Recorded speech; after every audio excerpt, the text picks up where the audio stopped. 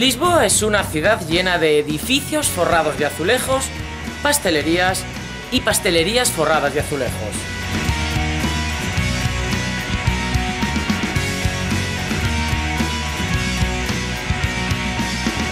Vamos, que Lisboa es la ciudad de los azulejos y las pastelerías.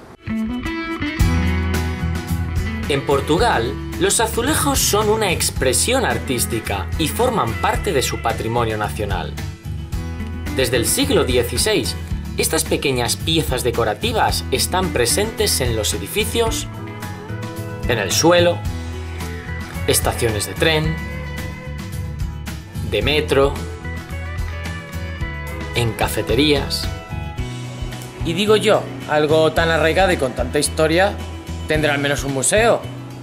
Efectivamente, en el convento de la Madre de Deu del siglo XVI se encuentra el Museo Nacional del Azulejo.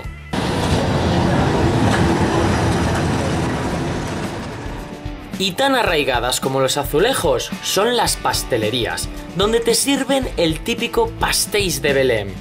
Así que para aprender a comerlos, nos hemos ido al lugar donde los inventaron y los fabrican, la pastelería Belém.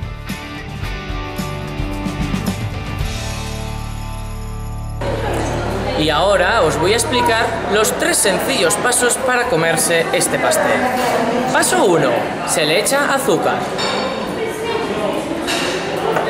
Paso 2. Se le echa canela. Y paso 3. El más difícil e importante. Se come.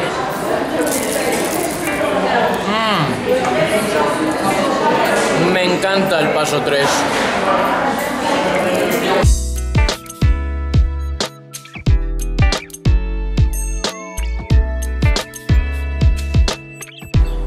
Pues se nos ha acabado el tiempo. Así que desde aquí, con mi amigo Fernando Pessoa, me despido de vosotros.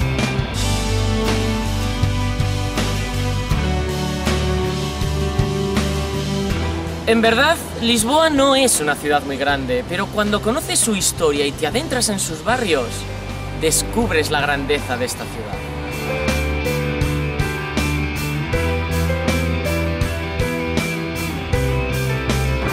Espero que hayáis disfrutado de Lisboa, casi tanto como yo.